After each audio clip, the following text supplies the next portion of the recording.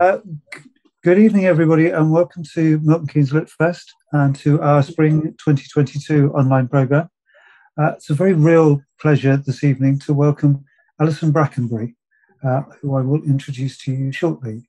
Uh, as John has just pointed out, we are recording tonight's event, so it will be available to view again later. Uh, if you would rather not be seen on screen, by all means, turn your video off, although we and, and I'm sure Alison would, would love to see your smiling faces uh, if that's okay with you. Uh, for most of this evening's event, as it is uh, fully illustrated, we will actually be sharing the screen, so most of the time you won't actually be visible in any case. Um, there will be a question and answer session at the end of tonight's event, so if you have any questions for Alison, about her writing, about particular poems, about the stories or anecdotes that she tells about our area as during the event. Uh, please type them into the chat window and we'll take as many of those as we can at the end.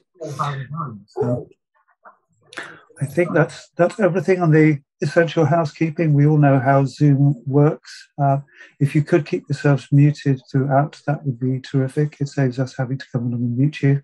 Um, and let me introduce Alison. Uh, Alison Brackenbury grew up in a Lincolnshire village and is descended from a long line of servants and skilled farm workers. She moved along the limestone to a Gloucestershire town where she's lived for over 40 years. She's worked as a librarian, an accounts clerk, and a metal finisher, and has been a parent, horse owner, and custodian of too many cats, despite which she has published 10 poetry collections, of which her latest is Thorpeness, which my iPad is refusing to show in focus. I'll type you the details into the chat window. Uh, she's won Eric Greg- Gregory and Cholmondeley Awards from the Society of Authors, and her work has been broadcast frequently on BBC Radios 3 and 4. Her last Radio 4 feature, exploring family and life through her grandmother's recipes, was praised by Pick of the Week as delicious. So, uh, a warm hand, please, as we welcome Alison Bracken. Welcome, welcome, Alison. While I find the slideshow, uh, slideshow, would you like to introduce yourself to our? our Indeed, yes. Thank you so much. Good evening. I'm very glad to be here. Thank you very much to you all for coming. First, I must apologise for the hat. It was my gardening hat. The hat is delighted by its promotion and almost runs to the computer every time I log into Zoom. I do hope to go back to my young hairdresser and hear the latest update on her new cat. Meanwhile, at least the hat is happy. We begin with a ditch. It is high on a hill in Gloucestershire where I have now lived for over 40 years. It is a green hollow amongst beechwoods, but like much in England, it is deceptive. For this place was a hill fort, and hill forts were a mistake. Excavations show that they ended in disaster. This hilltop, hauntingly, has never been excavated I came here first on the warm and dangerous back of my first horse, the small and sturdy horse I bought with my savings when I was 28.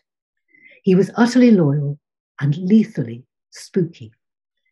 Some people think that horses see ghosts, and he seemed to think there were a few up on that hilltop. I thought of telling you the date when the poem was written. But I think you may agree there are many years to which it could belong. The poem's title is the name of this haunting place, Norbury. I was almost hurled in the ditch, for my first mad pony would switch from gallop to halt in one stride. Each ride he would swerve, fling me back to the deep, tumbled gorge by the track Dark beech trees hung on each side. A hill fort, no life but its name, Norbury mapped Iron Age. The same June wind conjured sweat, flies, of course. I soothe the tossed, sun bleached mane down by the dike, rough grave to the town, bones of child, wrecked fighter, horse. What are twenty years to hill wind? I trudge, horses outlived. I find the highest beech drought struck. A rich crest springs, orange fungus. Its throat gapes to the war trumpet's long note, the lost leader's last lying, which tumbled us all in the ditch. I did not grow up among the ditches of Gloucestershire, but in Lincolnshire. Both my grandmothers, Dot and Amy Mary, who lived there then, were fine cooks and even better neighbours. But there was one item which neither of them ever made. The poem is called High Class Food. Both my grandmothers were of age to stuff fat sausages with sage, Lincolnshire's herb, which calms the blood. They could make dumplings sweet with suet, slash egg white with a knife till thick, plate shoulder poised, Victorian trick, but never dreamed of needing bread. They ran to bakers' vans instead. Yet, when strange men tramped round the farms to beg for work in thirty storms, Dot, between her jobs, would pour them tea beside her fire before sending them out in rain, well fed, on home cured bacon and white bread. Now, a short seasonal poem based on an unexpected taste on a rare return trip. The poem is called Lincolnshire water. Here is strong land, whose grass does not spill foaming milk, where I still hear in February taps hiss cold silk. Life has its seasons. Although as an adult I moved into a town, for 35 years my shaggy and unaffordable ponies lived on the Gloucestershire hills on a friend's farm where I could ride in the lanes and in the wet woods. Here is the last and perhaps most beautiful of our horses, who lived to be 31. But while I was deciding finally that I no longer wanted to risk my ribs to gallop, our last pony was losing her sight. This poem is called Going to the Yard on May the 19th. I will stumble up the paddocks where first mist blinds the air, past the crowds of nettles, the bonfire piled with chairs. She sleeps, four square, alone as she must be. Startled in sun, her ears search dusk for me. I buckle the head collar, her steps slow. She cannot glimpse hard gates I do not own. Summer's red coat gleams down her shoulder blade. She rests her head on me while I brush hard, greets her filled bucket with quick toss of head. The yard's one robin flits to her spilt food. Horses stand quiet when fed. She stares at skies. No spring sun melts the cataracts from her eyes. I click my tongue. Each calm hoof lifts. Too soon, I clean each tender frog, the soul's half moon. 23 years, her breath on my neck. Then the vet must come at half past ten. Next, perhaps the most sombre poem in this reading. I should add that I am still not without hope, but I was sober to realise that it was 50 years since the glowing picture of our Earth was captured in space. I first saw this picture when I was a generally optimistic schoolgirl.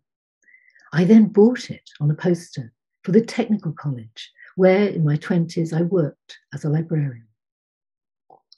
This is how it came back to me one morning before dawn, when the BBC Six music DJ, Chris Hawkins, mentioned on air that he planned to make a music feature based on that photograph.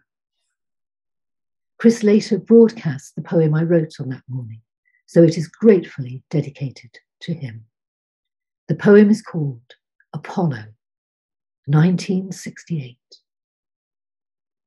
They floated past the moon without a spark of radio, the quiet before birth. Pulsed by its cobalt seas, they watch the earth, its perfect O, rise trustful from the dark, as we wish children might without a mark. See South America, whose tides of white shield sloths, jeweled hummingbirds, which drink our light. I was too young, sucked into my own dark. At work in a tech library, an arc of students, I set blue earth on the wall, so it sailed to them, bold and beautiful. In drawers, the plans for wind power slept in dark. The blue sea rose, then drowned. We lost the lark. I never dreamed that we would reach such dark. Now, I think that we should have a tiny poem for this season and for a very different planet. The poem is called March the 4th. I heave back the bathroom window. The catch is stiff and, like me, old. I would like to let in the crescent moon. She is so slender and must be cold. And now I think it is time to climb on a bus again in the sun. The poem is called Wednesday on the 97. Like family, you complain about, but love. I am at home with buses. This is prompt. At every stop, it dawdles in the sun. I do not phone, read, talk. I simply sit. I watch deep sycamores dip to the south, as if the whole day is a cat that purrs, and I, the tongue, vibrating in its mouth. There is a less welcome sun in my next poem. Its subject came from the nomadic tribe of the Scythians from Siberia. I went to an exhibition expecting to be enthralled by Scythian goldwork. But my eye was caught by a very different object. The poem is called Scythian Ice Burial. Sheepskin goatskin, kidskin, sable. Underneath a warrior's shoulder lay the child's coat, unable to heat or thaw his grave's cold power. Were small sleeves patched for him, a son, fevered in one summer hour. They laid him carefully, in trust no spade could lever earth's cold lid. No sun would pierce ground's frozen crust. The glacier shrinks like all he did, leaves his first coat, our last ice hid. Sheepskin, goatskin, sable, kid. Charles Dickens, I think, would have been fascinated by the ice burials. In 2019, before travel stopped, I went to see the house, which was the home of Catherine and Charles Dickens in the early days of their marriage. I was startled to find that this modest building is Dickens' only surviving London house. I began to think about his long and changeable life and marriage. Before I read this poem, set in that London house, I must bombard you with facts, some of which I learnt on my visit. In 1851, under the name of Lady Maria Clutterbuck, Catherine Dickens published a book of meal plans. What shall we have for dinner? Is she his wife? Is the title of an early play by Charles Dickens. Dickens had a desk built for his reading tours. When illness forced him to stop, he planned to burn this. Catherine and Charles Dickens had 10 children. Dickens separated from his wife in 1858. In the last years of his life, he had a secret relationship with a young actress, Ellen Ternan. I have no more to say is the final sentence of a letter from Charles Dickens to his publishers, Evans and Bradbury. He quarrelled with them over their support for Catherine. The poem is called Charles Dickens at Home. Bombs, cranes made his grand houses mere rubble under feet, but not their narrow first door, 48 Doughty Street. Kind Catherine clasped the baby. Dickens set up his desk. He rattled sherry bottles. She counted out the eggs. The basement stairs could break knees.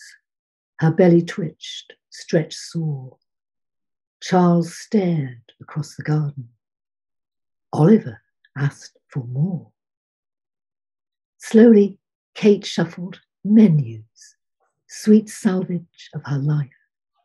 What shall we have for dinner? He wrote, Is she his wife? Spring soup then vermicelli, the hospital fund, grey curls, oxtail, mock turtle, hare soup, the house for fallen girls. His favourite child was Katie, who painted, laughed, dared turn to snatch the frail reading desk her father planned to burn. Behind his tallest last house, with Catherine packed away, he lit his bundled letters. I have no more to say. The profile of his actress shows tension, sharp lipped grace, not Catherine's muddled ringlets, not unlike Katie's face. We live in all our houses, ash whispers to the sleet Lime buds tap bedroom windows. Upstairs in Doughty Street. In the unaccountable absence of mock turtle soup, I'm going to leave the screen for a few seconds to drink some water. Do feel free to gaze at the poster above the fireplace. It's not genuine, but it's an El Greco showing, I believe, St. Martin sharing his cloak with the beggar. I'll be back soon.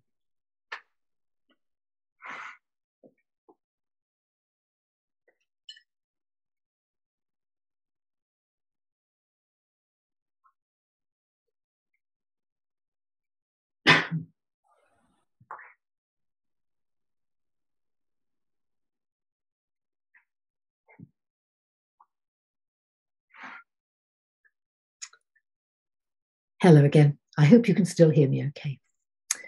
I must mention that I am disgracefully active on the internet. I have a website with a contact page. Do look me up if you wish on Facebook, Instagram, or Twitter, where you will find me with many nature photographs. Now for an interlude which begins in a village. People who know me probably associate me with Lincolnshire, where I grew up, or Gloucestershire, where I have now lived for over 40 years. but I also have deep links with Buckinghamshire. My mother's mother, Amy Mary Wright, grew up there in a tiny village called Chicheley, which some of you may know. She would say, I always remember, and there would be a flow of Chicheley stories. I have been thinking about these because I'm working on the second draft of a prose book called Village. I often find myself writing severely. This is not a nostalgic book. So I must begin by telling you severely that I am not nostalgic for Chicheley. Amy Mary grew up in the 1890s. It was a terrible time for British farming, with a flood of cheap imported food. Does this sound familiar? One autumn, after a bad harvest with low wages, Amy Mary woke up in the night and heard her own mother crying. Emma was afraid that she would not be able to feed her kindly husband, Leonard, and their six children over the winter. But Granny Wright, as we called her, did manage to feed her children during that winter. And I knew almost all of them. Agnes Elizabeth, whom we called Mag, Arthur, Amy Mary, Edie, Sid, and their youngest sister, Bright Bertha, lived in Chicheley in a thatched cottage. Now, I do not want to upset anyone who does not care for creatures with eight legs, but my grandmother told me with relish that they used to descend spectacularly from the thatch outside her bedroom window. I must thank today's visitors for updating me about Amy Mary's birthplace. I was touched to find that little Chicheley is still as friendly as when Amy Mary used to gossip with her Aunt Kit, lace maker and rose grower, at the garden gate. The once battered cottage is still there, now beautifully maintained and I am reliably informed that although the last of the Wright family chose to leave in the 1930s, their spiders chose to stay on. This entirely spider free poem comes from my latest collection, Thorpeness, published by Carcanet. I do apologise for taking you back a season, but I think you will see that Amy Mary was liable to produce the poem's chorus impressively at any time of the year. So here are four generations beginning in that cottage in Chicheley. The poem is called My Grandmother Waits for Christmas. Amy Mary, labourer's child, feared for food when harvest failed. What did her mended stocking hold when thatched snow lit the house? An apple and an orange and a sugar mouse. Factories overtime revoked. Her children chose Marge or Jam. Christmas hopes at tea provoked Amy Mary's list her house hummed along. My mother sang, and a sugar mouse. I met Christmas on the hop with fair trade chocolate, one lean year, a toy dog from the local shop. In city suit, in our small house, suddenly my daughter chants, and a sugar mouse. Grey, with lute, I bounce the bus. At dawn, in dream, before the trust presence rain descend on us, I nibble in that kind, dark house on the crystal crust of my sugar mouse. Most of the money for the mice came from the wages of Leonard Wright, who I was delighted to discover worked on a local farm as a horsekeeper. Amy Mary was sent out by Granny Wright to carry her father's dinner to the fields at harvest time. Inside a muslin cloth was a long sausage shaped piece of steaming suet pastry with hot meat at one end and homemade jam at the other, and an impressive wall of pastry in between. I do not have Granny Wright's Victorian recipes, but my new book is home to a small village of poems dedicated to my Lincolnshire grandmother, Dorothy Eliza Barnes, whom her family called Dot. When I knew Dot, she was a Lincolnshire shepherd's wife, but as a young woman, she had been an Edwardian professional cook. She left a black oilskin notebook filled with her handwritten recipes. Here is what you will find on the very first page. The poem is called Start. Page one Aunt Margaret's pudding. Take half a pound of flour, three ounces lard or butter, egg, milk, sugar, baking powder. Spread jam in saucepan, summer gleam, poke fire, for 90 minutes, steam. Dot took for granted custard seas in which all pudding swam, yellow as straw, farm workers' food. In frost, the men tramped home, moon glittered. No one knew how lard would line and leave their arteries hard. When I came home and you worked late, our workshop gloomed with cold. I bought flour from the corner shop, sacked cupboards for old bowls. Softly, the mixture dropped. I too spooned Margaret's hot jam sponge for you. The essays Amy Mary wrote to pass the test for leaving her village school were so outstanding that her teacher sent them to the squire Sir George Farrar, who was then renting Chicheley Hall. Amy Mary herself was not allowed to spend a penny of it. Granny Wright snatched the guineas from her hand and went off to buy new boots for the whole family. And Amy Mary went off, aged 13, to be a rather disgruntled housemaid at Chicheley Vicarage. Here she is, second from the left, in the front row, looking distinctly rebellious. And who is the formidable lady in her best striped blouse at the back? Yes, it is Emma, red haired Granny Wright, who would pack off Amy Mary's younger sister Edie to a job further afield by train. This is what happened when Leonard Wright, a much softer character, took his third daughter to the station. The poem is called Edith Leaves. There she was, my Aunt Edie, going off to service, scared and 14, crying by the side of the train. She did not want to be a maid, but to run straight back to the cottage, to her grim red mother, to the tall beam row where her taller father waited. So he, in his labourer's best boots, climbed with her on the train, then travelled to the next brief stop. Could he pay? Was he caught? Jumped down.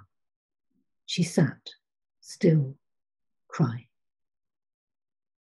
How did he reach home? I know. He walked. The lane smoked dust. He did not see the hawthorn's fresh and spicy leaves, cream heavy heads of elder. What use was that? Her mother said. You could have ridden all the way, and she would still be crying. What would you be as the train shook by, as the pollen stroked his shoulder? The flowering May with its neat chopped thorn, the heady weeping elder. Then came the First World War. In September 1914, Arthur, Amy Mary's older brother, was driven to the recruiting office in Northampton with seven other villagers in Lady Farrar's car. By the end of April 1915, Arthur was dead. A month later, so Sir George Farrar. I would not blame Lady Farrar for Arthur's death. I think he would have joined up anyway, perhaps cycling all the way to Northampton on his precious bicycle. His younger brother, my great uncle Sid, confessed to us that he defied Granny Wright, ran away, and joined up under age. Sid survived. This, he told us, is what happened when he returned to his village and met Lady Farrar. The poem is called Meeting, 1919, between my great uncle Sidney and the wife of a Buckinghamshire squire. Well, Wright, she called in the raw wind, we heard that you were safely home. Now, I suppose, you'll work for us again. When, pantry boy, Sid stood at 1 a.m., still scraping grease off dinner party plates. I've had four years with sergeants shouting at me what to do. I've not come home to be bossed round by you. She turned for Chicheley Hall without a word.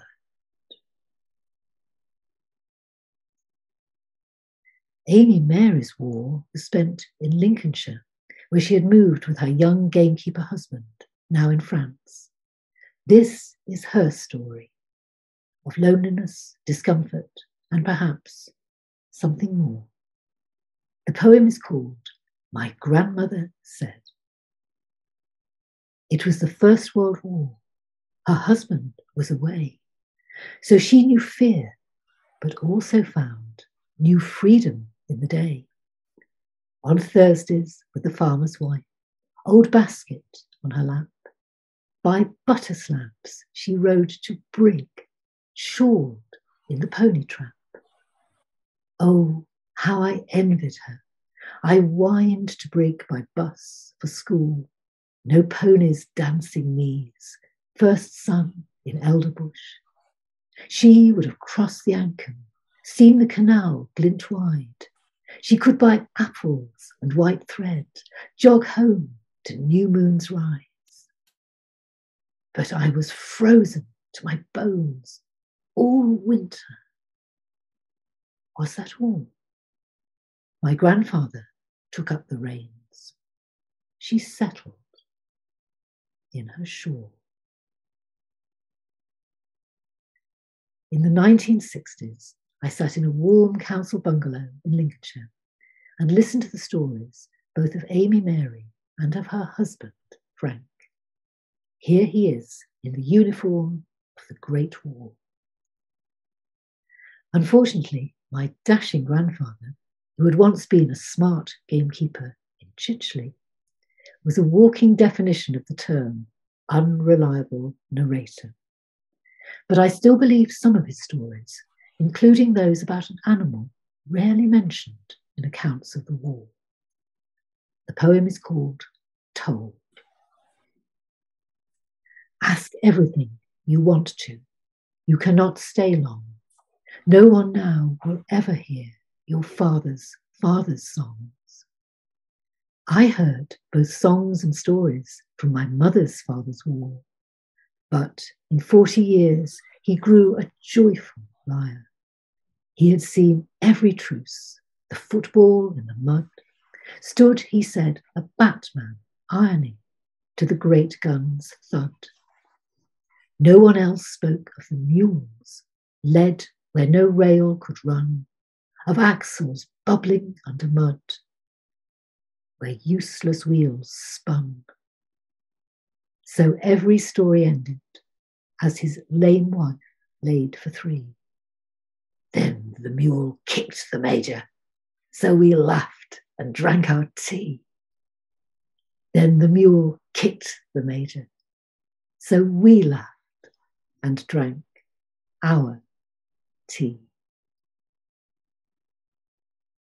My prose book Village, which I'm currently revising, contains many discoveries, some startling, some sad, redeemed by the fact that I knew the cheerful and kindly survivors at the heart of these stories.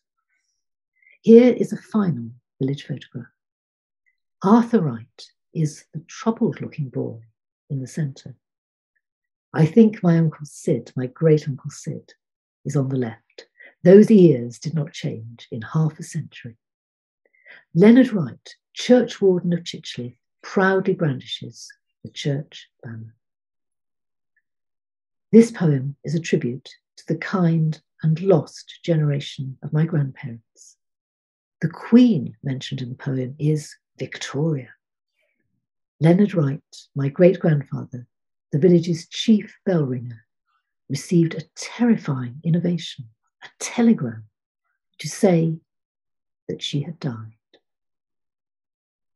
The poem is called My Old.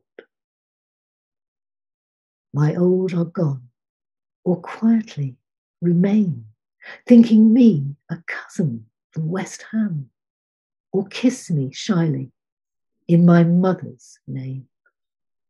My parents seem to dwindle too, forget, neat ending to a sentence they began, beginning of a journey, if not yet. Cards from village shops were sent to me with postal orders they could not afford. They pushed in roots of flowers carelessly, and yet they grew. They said a message came to say the queen was dead, that bells were heard. My old are gone into the wastes of dream.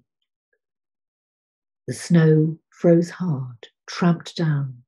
Old footprints picked its smoothness, blackened footprints that I tread, that save me falling, though they do not fit exactly, stretching out beyond my sight. My old are gone from name, they flare instead. Candles that I do not have to light.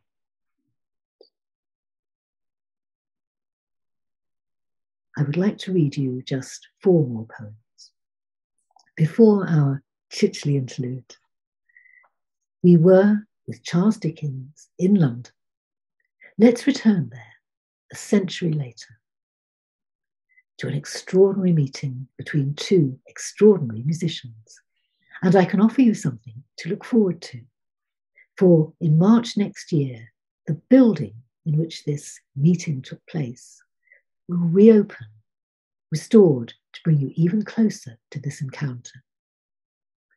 It is one of my favourite museums, called simply Handel and Hendrix in London. From 1968 to 1969, Jimi Hendrix lived in an upstairs flat at 23 Brook Street, next door to George Frederick Handel's long term home.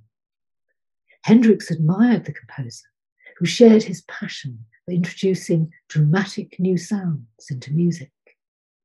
Jimi claimed that he had met Handel's ghost, an old man with a grey pigtail wearing a nightshirt. Handel reputedly went blind because of the hours he spent copying out his music by candlelight. His huge meals were legendary. The poem is called Purple Haze. When Jimi glanced into his small attic mirror while parting his lips and teasing his hair, in a candlelight glint, he saw George Friedrich Handel, alarmingly wigless, alarmingly there. What have you been taking? said Handel to Hendrix. Only the usual, Jimi replied. I adore your high notes, Handel whispered. But listen, you cannot cheat sleep. I went blind when I tried. Make friends with your sound man, then fix the fuzz pedal. But discipline, boy. Cut your endless tracks short. Jimi shook his fine head. With no more breath to meddle, George sank to roast chicken, his cellars of port. Now, a poem about a man who was never famous. He was one of the many farm workers in the Lincolnshire village where I grew up. But he lived surrounded by a strange glow of mystery and of respect. The poem is called Fern. Does anyone wear buttonholes? We made them for the village fete. So I was sent up to the gate of the old man who would have gone to grammar if they could have bought a crested cap, soft shoes for sport. He passed from village desk to farm. The one girl he had waited for ran to an airman in the war. His sister kept the tiny house, a courteous, clever man, all said.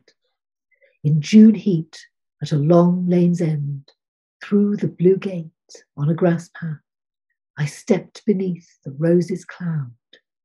I saw him bend to stakes, head bowed, by billows of asparagus fern, for farmhand's collar or the queen, webbed, spread like hands, its tiny veins, crisp as dead leaf, all green, so green. I think that many of us recently discovered a small green kingdom very close to our home. I spent a lot of time on a footpath in a field just outside Cheltenham.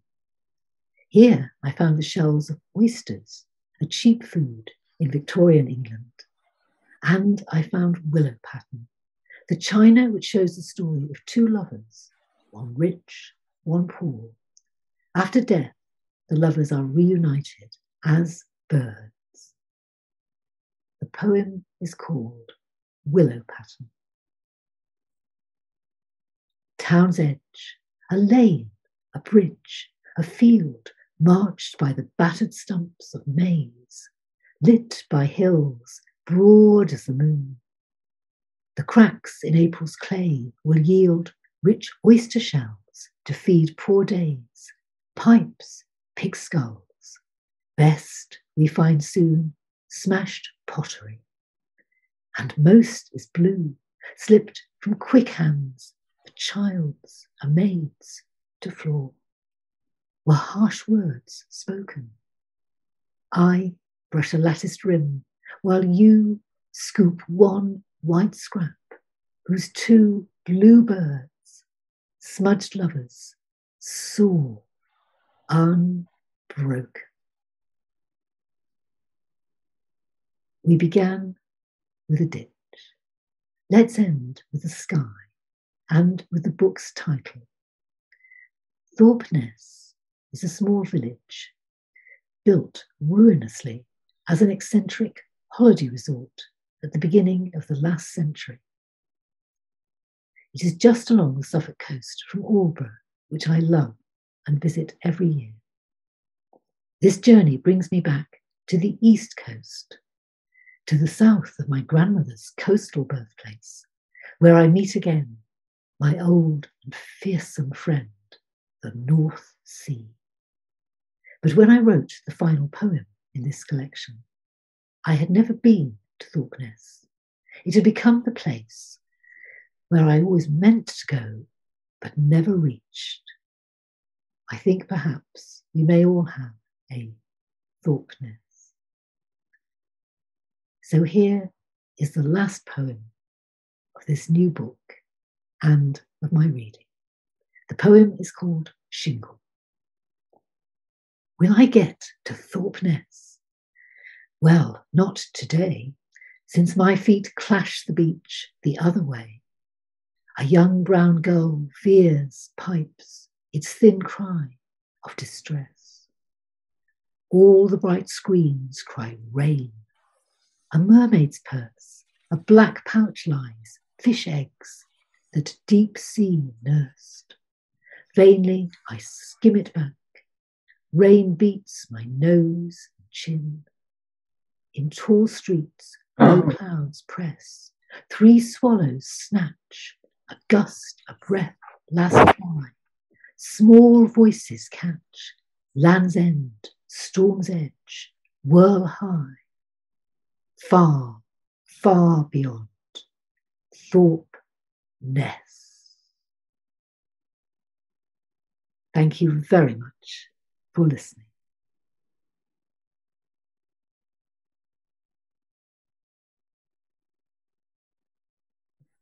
And thank you, Alison. I think we should all put our hands together for a round of applause at the end of that splendid reading. You can unmute yourselves if you wish.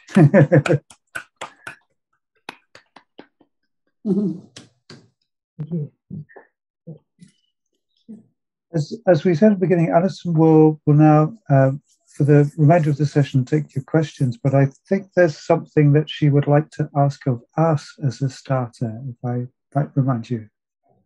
Uh, that's lovely. Shall I proceed? This yes, is like please. a missing person appeal. I'm looking for Aunt Kit from Chicheley. I must explain briefly, as the end of the story, that Amy Mary, my grandmother, first because of poverty and then because of terrible arthritis, rarely left Lincolnshire. But my mother, unlike her mother, went to grammar school, funded by Amy Mary and Frank, went to London as a student. So she visited Chicheley.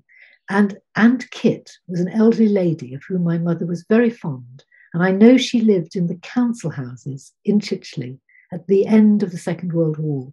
There's some more stories floating around about a lady who was a lace maker, who was a rose grower, who lived in the thatched cottages at Little End in Chicheley. That may also be Aunt Kit. But I don't think she was a blood relation. Her surname may have been Wright, but there are various things I would love to know about her.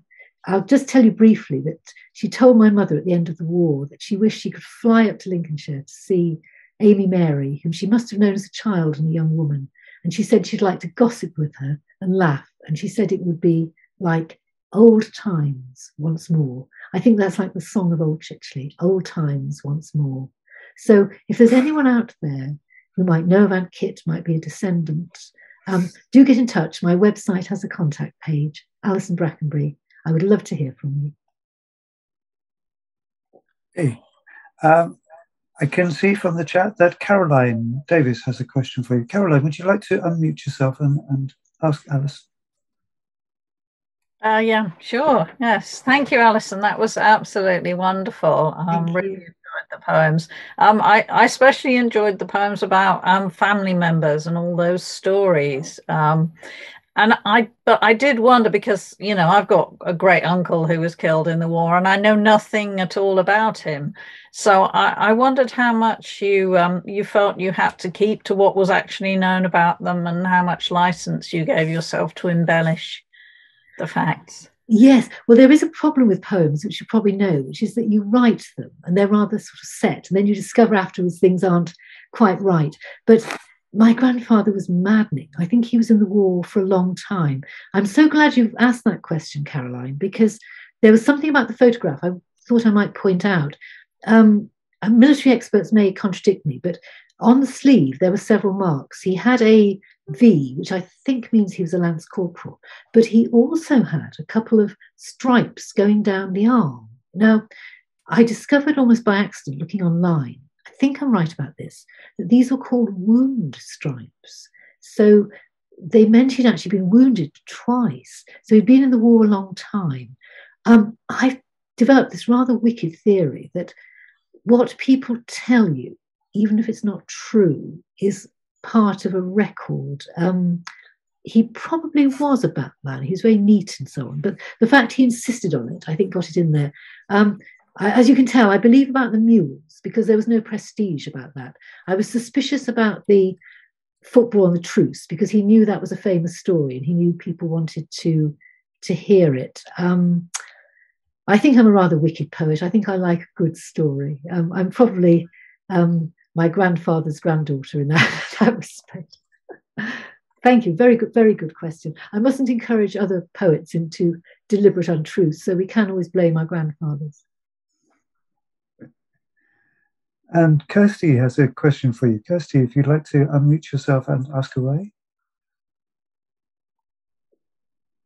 Um, I'll unmute. I won't on. Uh, I won't turn my video on because my puppy is climbing on me at the moment. It's been oh, how lovely! While I've been listening to the phone, it's been amazing. But that's why you can't. Go on, Kirsty. Go on. We want to see the puppy. Oh no, she's just like climbing on my head, and I think that will be the climax of the evening.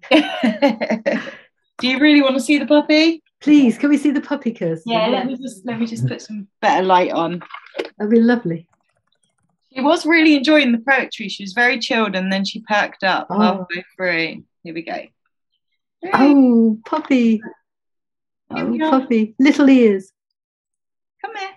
Look now. Now I'm like, come here. She's no. Oh, thank you so much. That was lovely. Um, here she is.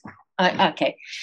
Uh, so my question for you, Alison, was um, have you always been interested in saving these kind of almost lost narratives or people, you know, like these like histories that you could maybe call minor in a way, like, you know, uh, is that always been something that's interested you? I was always very interested in talking to older people, partly because there was a great rift in rural history. I was born in 1953, and my father had been a ploughboy in starting about 1940.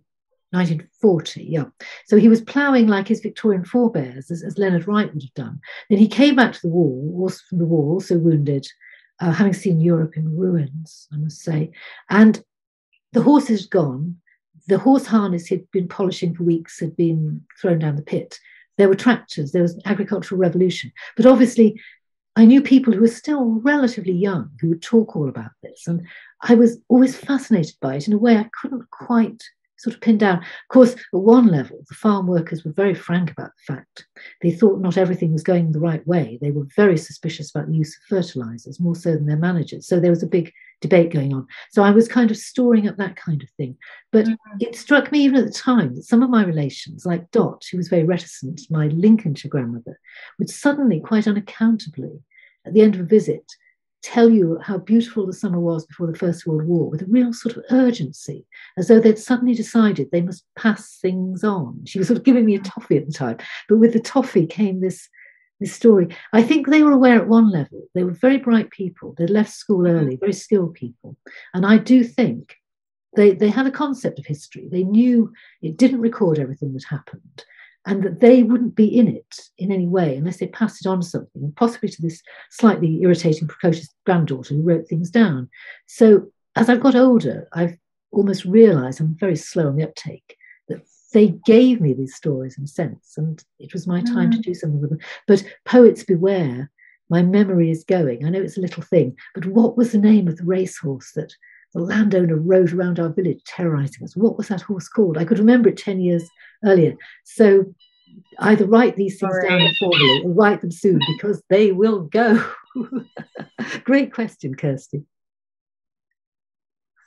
Sorry, I, I, was kind of trying to unmute the squeaking toy, but uh, oh, yeah. great answer. yes, I love um, the tail. I yeah, I I yeah, I I asked that question because I'm really interested in these kind of minor histories and archiving as well. I'm not sure where, where it comes from in my case, but um, really interesting to hear uh, in your case. So I think it's completely in the culture. I mean, actually, people love telling stories, and my father's family were very enigmatic. They were Lincolnshire and rather quiet. My Buckinghamshire relations liked telling stories, but they were terrific mimics. And if they told a story, you got it verbatim, you got an Irish accent, you got the grand accent of the First World War cavalry officer that the landowner had been. And, and all around the house. Extraordinary. So I think it was almost in the blood. It was something people did. Yeah, yeah. very interesting. Yeah. Thank you. Question from, from me, Alison. Uh, while we're all buying and reading our copies of Thorpeness, who are you reading? Which which poets would, would you recommend to us that to us are so far hideously undiscovered? Who are you? Well, I don't know if they're undiscovered. Um, I've always I'm always thinking about this. I always have dread someone will ask me for the best books of, you know, 2022 or something. But somebody I discovered, it's not a brand new book. I know a lot of people like it. But have you read Abeer Ameer, who is of Iraqi heritage? Um, her hmm. book's got a slightly odd title. I think it's Inhale Stroke Exile. But she writes very movingly and technically very well about her family's past in Iraq. And you'll understand partly why I like it, because it has things like the sour taste of pickles, which someone is trying to recreate in England. They can't quite get the taste. And there's a poem which is very dark, but very funny, about a heroic man who saved someone by not delivering letters.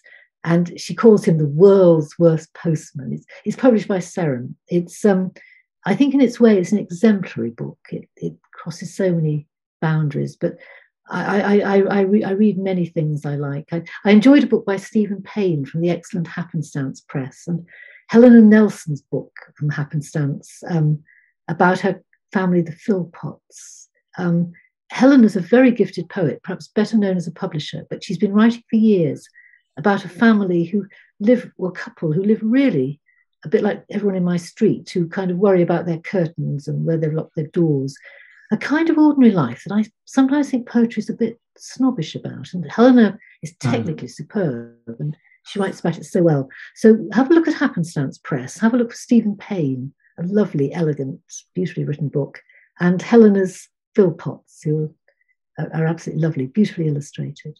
After this broadcast, I shall think of um, 73 poets I should have commended to you, but um, that's a start, isn't it?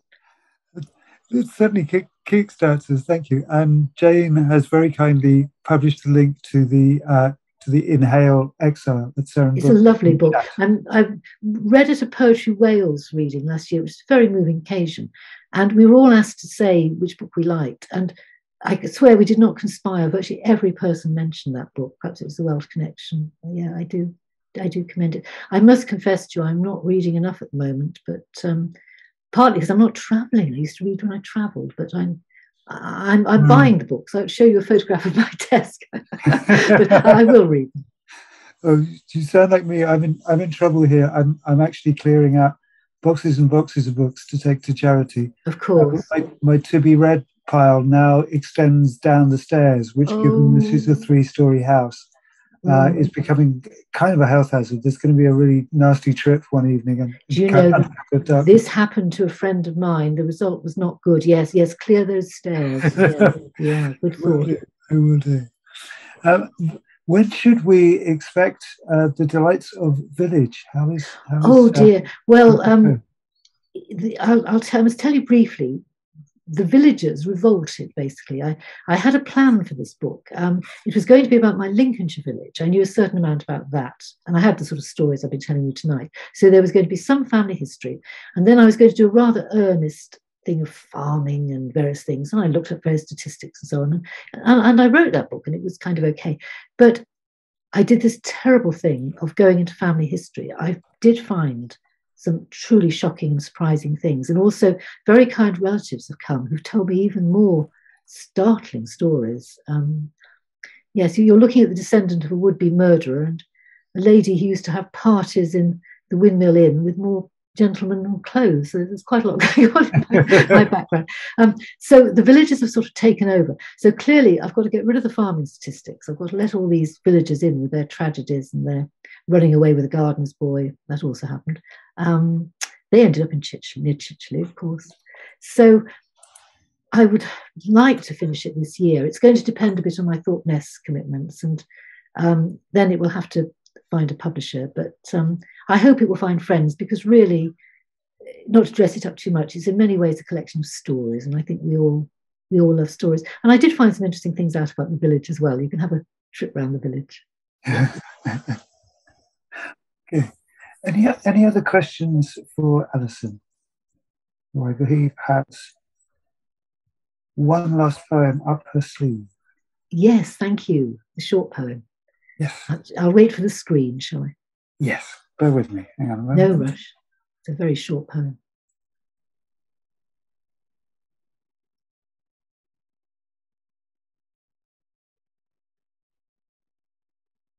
Thank you.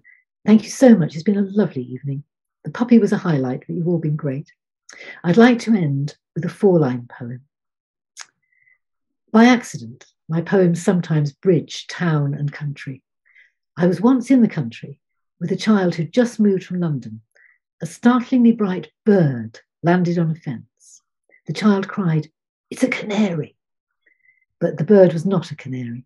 I'm sure many of you have guessed its identity. If not, it will be revealed in this final poem, which is called Territories. Where lemon melts to mustard, its song a throaty clamour, to every month a new moon, each hedge a yellow hammer. Thank you. I think if we uh, all unmute ourselves and a final, very generous round of applause to Alison for what has been a really enchanting, delightful hour. It's been another honour to be in your company, Alison. Thank you.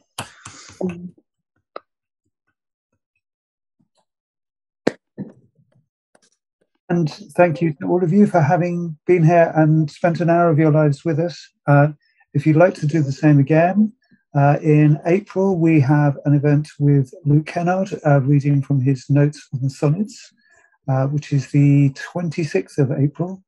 Uh, preceding that, on the 23rd at Westbury Arts Centre, there's an open mic sonnets and soliloquies evening, uh, which is obviously Shakespeare's birthday bash. Details again on our website, and we have some outdoor creative writing workshops coming up with Electra Rhodes uh, on the 14th of May, again at Westbury. All of the details are on the website.